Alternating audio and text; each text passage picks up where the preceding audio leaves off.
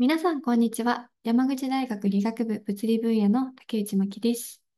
今日は素粒子理論の世界というタイトルで、素粒子理論の魅力について少しお話しさせていただければと思います。物理学とは何でしょうか？物理学とは自然界のルール、法則を解明する学問です。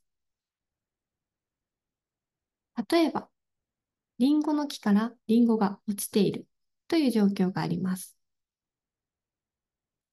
これを見た A 君は、まあそういうものなんでしょと言ったとします。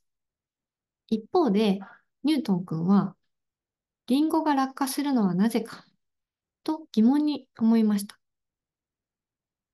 そして、リンゴが落下するのは力が働いているからだと考えました。ニュートン君のすごいところは、それだけではなくて、リンゴだけではなくて、すべての物体の間には引力が働くと考えたところです。えつまり、リンゴが落ちるという地上の現象だけでなくて、月が地球の周りを回っている。この天井の現象。どちらもこの万有引力というもので説明できると主張しました。これを万有引力の法則と言います。このように現象の背後には法則があります。その法則を明らかにしたいというのが物理学やりたいことです。はい。ではここで皆さんこの写真を見てみてください。この写真にはいろんなものが写っています。例えば海、山、えー、車、橋、人など、まあ、たくさんのものが映っていますね。これらはすべて物質です。物質は何からできているんでしょうか？え皆さんご存知の通り、物質は分子からできています。では、分子は何からできているかというと、原子からできています。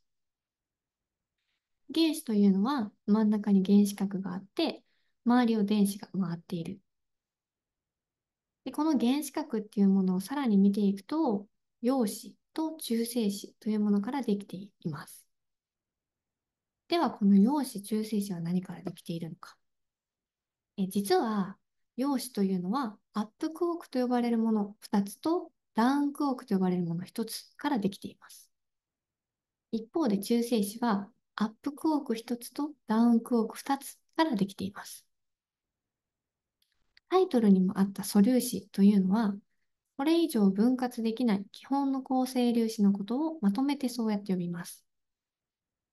この図の中で素粒子はどれかと言いますと、えまず電子ですね。この原子核の周りをぐるぐる回っている電子は素粒子です。他にもありまして、それは陽子や中性子ではなくて、陽子や中性子を構成するアップクォーク、ダウンクォークと呼ばれるものが素粒子になります。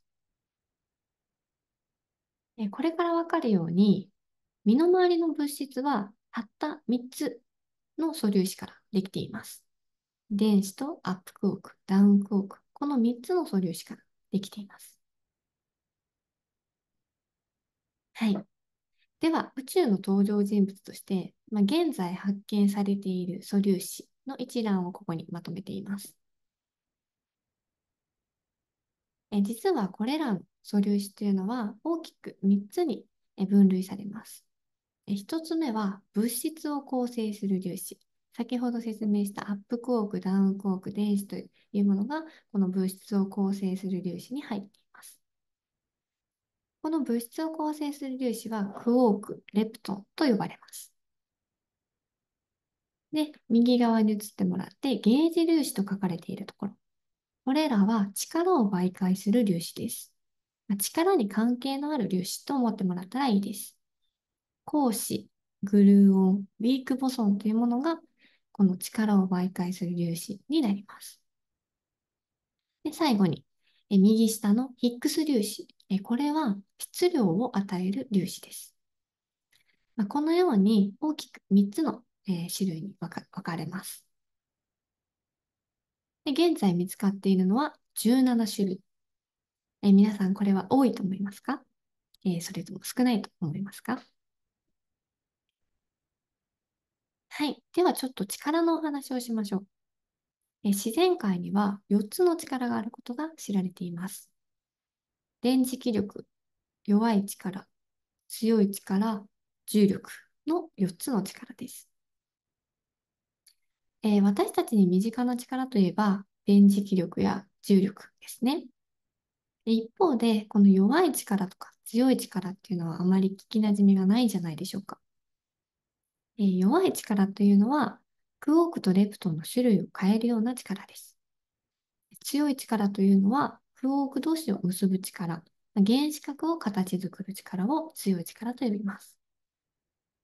あまり身近には感じませんが、これらの力が非常に重要な役割を果たしております。力とは何でしょうか？素粒子理論では力というのは素粒子間に素粒子が媒介して相互作用することと解釈することができます。これどういうことか少し詳しく見ていきましょう。まず電磁気力。電子と電子があるとその間に空論力というものが働きます。これは実は電子と電子の間に光子、ゲージ粒子の一種なんですが、光子というものが飛んでいることによって空論力というものを感じると解釈することができます。次に弱い力。弱い力っていうのは、例えば電子や電子ニュートリノがあると間に、えー、弱い力が働きますが、これは電子と電子ニュートリノの間にウィークボソンと呼ばれる、これもゲージ粒子の一種ですが、ウィークボソンが飛んでいることによって弱い力を感じると解釈することができます。同じように強い力についても考えられます。強い力っていうのはクォークとクォークの間に働くものですが、クォークとクォークの間にこのグルーオンと呼ばれる、これもゲージ粒子の一種なんですが、グルーオンが飛んでいることによって強い力を感じると捉えられます。では最後、重力ですね。重力も同じように考えたいです。重力っていうのは素粒子と素粒子があったら働くものです。素粒子と素粒子があると重力が働く。ということは素粒子と素粒子の間に、まあ、何かが飛んでいて、それ、何かが飛んでいるから重力を感じると解釈したいわけです。で、その飛んでいるものの名前を重力子と呼びましょう。ただ、この重力子というのはまだ実験で見つかっていない粒子になります。なので、これ発見したら、発見したいですよね。はい、そういう研究もあります。はい。えー、力の話をしてきました。えー、物質、力の根源ともに素粒子であることが分かったかなと思います。